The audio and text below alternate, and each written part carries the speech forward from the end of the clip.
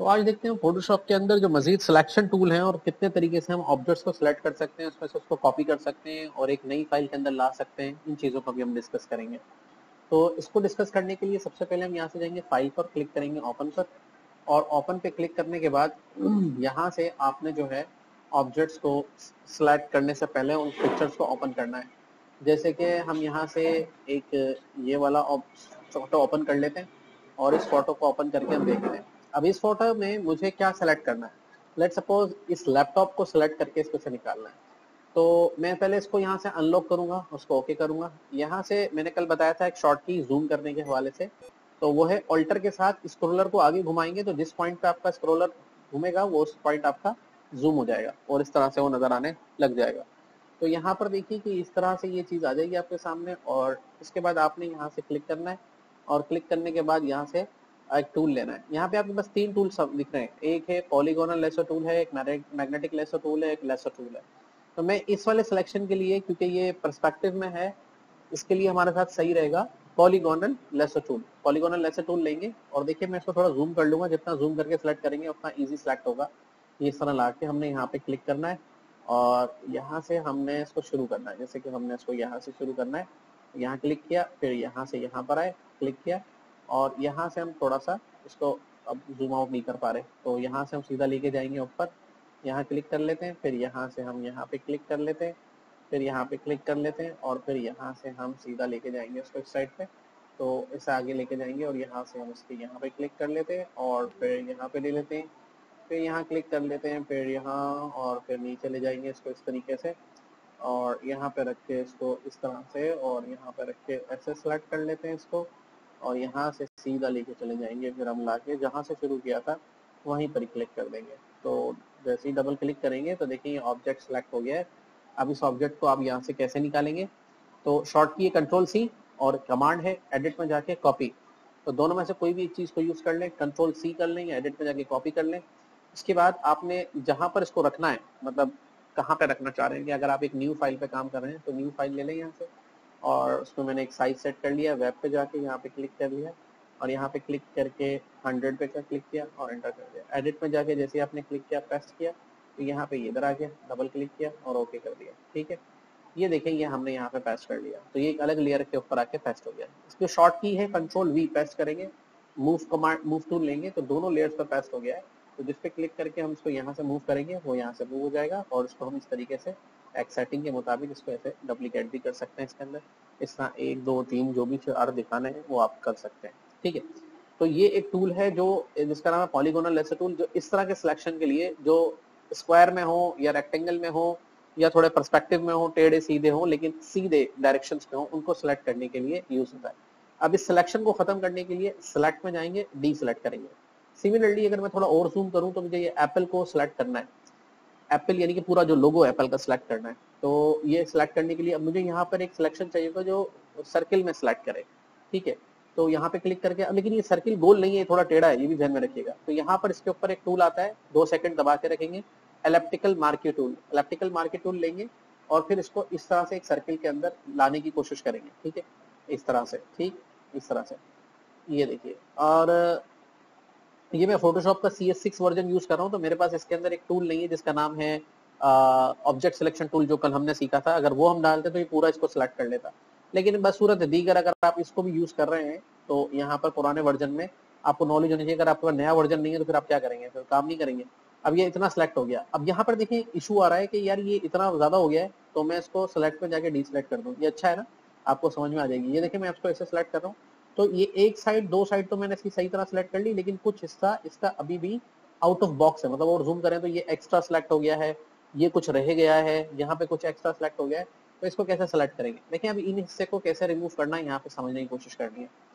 अब बाकी हिस्से निकालने के लिए, अभी जब आपने सिलेक्शन बनाया था तो यहाँ ऑप्शन बटन में एड सिलेक्शन का ऑप्शन था। एड सिलेक्शन का मतलब है कि अगर कोई हिस्सा रह गया है तो आप दोबारा उसके ऊपर रख के आप सेलेक्ट करेंगे तो वो हिस्सा भी इसके अंदर ऐड हो जाएगा। देखिए जैसे मैंने इस पर क्लिक करके हल्के हल्के से सर्कल्स पे इस पर क्लिक किया था तो ये इसके जो पिक्सल्स हैं, वो सिलेक्ट होते जा रहे हैं, जो बाहर वाले जो सिलेक्ट नहीं हुए थे। तो इस तरह से वो सिलेक्ट होते चले जाएँगे। तो यहाँ पे क्लिक करके आप जैसे क्लिक करते जाएँगे तो वो सिलेक्ट होते चले जाएँगे। जैसे सिलेक्ट हो जाएँगे तो यहाँ पर इस तरीके से आपको नज़र आएँगे। तो ये मैंने यहाँ पे इस तरीके से अप्लाई कर लिया। अब जो इसी तरह से जो एक्स्ट्रा हिस्से हैं, उनको इसमें से वेव ऑफ़ कैसे करेंगे इसमें से निकालने के लिए हमने देखे यहाँ पे क्लिक किया कि ये सिलेक्ट हो गए। ठीक है, अब जो हिस्से इसमें से निकालने हैं, उनको निकालने के लिए हम क्या करेंगे? यहाँ से हम क्लिक करेंगे और यहाँ से एक ऑप्शन लेंगे लेसो टूल का। तो लेसो टूल जैसे ही ले लेते हैं। अब लेसो टूल क्या करेगा? इससे हम सेलेक्ट नहीं करेंगे। इससे कुछ हिस्से को निकाल देंगे। तो जिसे एड सिलेक्शन पे जब भी रख के हम कोई हिस्से पे सिलेक्शन बनाएँगे तो वो उसमें ऐड करता जाएगा। इसी तरह आगे आ रहा है सब्ट्रैक्ट फ्रॉम सिलेक्शन अगर इस पर क्लिक करके और हम सिलेक्शन में से कोई हिस्सा निकालेंगे तो ये देखिए इस तरीके से मैं सिलेक्ट करके इसमें से ऐसे करके और ये ऐसे घुमा के निकाल देता हूँ तो वो हिस्सा इसमें से निकल जाएगा। ठीक है? ये देखिए। अब ये हिस्सा एक्स्ट्रा निकल गया, इसको मुझे ऐड करना है दोबारा तो मैं इसी को ऐड सिलेक्शन पे रखूँगा और यहाँ से क्लिक करके ऐसे करके मैं इसको ऐड कर दूँगा। ठीक है? ये देखिए ऐड हो गया। और इसी तरीके से अगर हम यहाँ पर जाके इसको निकालना चाहते हैं तो सब्ट्रैक्ट सिलेक्शन पे लग के मैं इसको ऐसे करके निकाल सकता हूँ। ये टूल मैं इसलिए इस्तेमाल कर रहा हूँ क्योंकि ये मुझे बिल्कुल फ्रीडम देता है जिस तरह से चाहूँ मैं उधर से सिलेक्ट करूँ, जिस तरह ना करूँ। क्योंकि इसमें सर्किल में सिलेक्ट करेगा और ये जो पॉलीगोनल था, ये फिर वो लाइंस की सूरत में सिलेक्ट करेगा स्क्वायर या रेक्टेंगल में। तो वो मुझे नहीं करना था। अब एक्स्ट्रा जो चीज़ें रह गई हैं, उसको मैं ऐड सिलेक्शन करके इसके अंदर ऐड करता चला जाऊँगा। ये ऐसे करके, ये लिया मैंने इसके अंदर, ये ऐड हो गया इसके अंदर, ठीक है। और ये देखिए, इस तरह से सिलेक्ट हो गया। अब ये वाला हिस्सा मुझे निकालना है इसके अंदर से।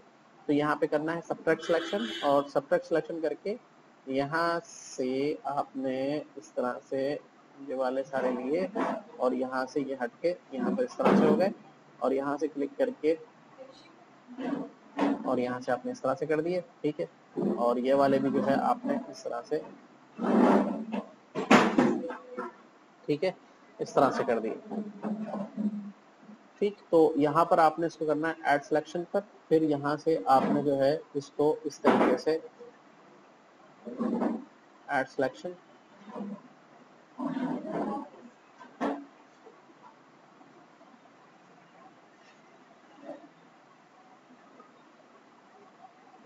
ये मैंने ऐड सिलेक्शन से ये ले ली इसके अंदर। और सब्ट्रैक्ट सिलेक्शन से मैंने ये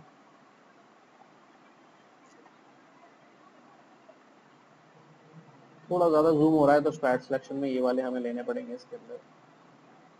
ये जो आप देख रहे हैं, डब्बे जो बने हुए आ रहे हैं, इनको हम कहते हैं पिक्सल ये बहुत सारे पिक्सल मिलके कोई भी पिक्चर्स को फॉर्म कर रहे होते हैं। तो ये देखिए पूरा सिलेक्ट हो गया। अब यहाँ पर भी हो गया है, ठीक है?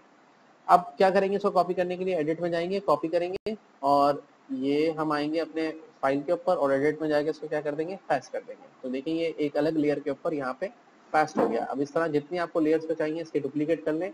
एक तरीका कंट्रोल जे दबाएँगे डुप्लीकेट हो जाएगी, इसको पकड़ के अलग कर लें राइट बटन दबा के डुप्लीकेट कर दें, ये तरीका भी इसका सही है, और जो भी तरीका इस्तेमाल करेंगे, आप इसको अप्लाई कर सकते हैं, हर चीज़ को अलग अलग कर सकते हैं, ठीक है?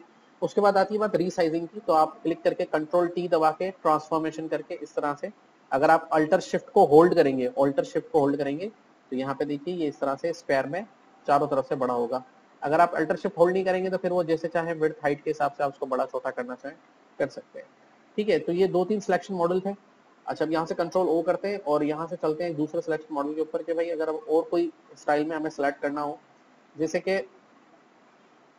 अब यहाँ पर ये वाला जो फ़ोटो है, इसके अंदर से मुझे ये सिलेक्ट करना है इसको तो यहाँ पर मैं यूज़ कर लूँगा ये वाला टूल जिसका नाम है क्विक सिलेक्शन टूल ये क्विक सिलेक्शन टूल लिया, मैंने कल बताया था add selection subtract selection add selection पर रखेंगे स्क्वायर इसको अच्छा एक और बात समझने कभी आपका कैप्सलॉक ऑन होगा तो ये प्लस का निशान आएगा, फिर वो ब्रश का साइज़ नहीं आ रहा होगा। तो कैप्सलॉक ऑफ़ रखें, फिर आपको ब्रश का साइज़ आएगा। इसके साइज़ को मैंने मेंटेन किया जूम किया और इसको इस तरह से सिलेक्ट कर लिया। अब सिलेक्ट करने के बाद यहाँ से ये मुख्तलिफ़ एरियाज़ पे सिलेक्ट हो गया।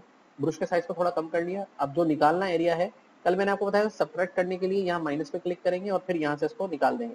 इसका एक शॉर्टकट भी है। मिसाल के तौर पर आप एड सिलेक्शन मोड में ही है और आप ऐड कर रहे थे और ऐड करने के बाद आपको कुछ हिस्से निकालना पड़ेगा, जैसे ये वाला हिस्सा। तो उसको पहले फोकस कर लें। और अपने ब्रश को सेट कर लें कम ज़्यादा। उसके बाद आप क्या करें यहाँ पे? ऑल्टर का बटन होल्ड कर लें। A L T alt hold करके आप इसको इस तरह से चलाएँगे तो ये सब्ट्रैक्ट सिलेक्शन का काम शुरू कर देगा और इस तरह से ये एरिया इसमें से सब्ट्रैक्ट होना शुरू हो जाएगा। ठीक है तो इस तरह से ये आपका मामला सेट हो जाएगा। कंट्रोल सी दबाएँगे इसको कॉपी करेंगे और फिर अपनी पिक्चर में जहाँ चाह रहे हैं आप रखना, वहाँ कंट्रोल वी करेंगे फास्ट हो जाएगा।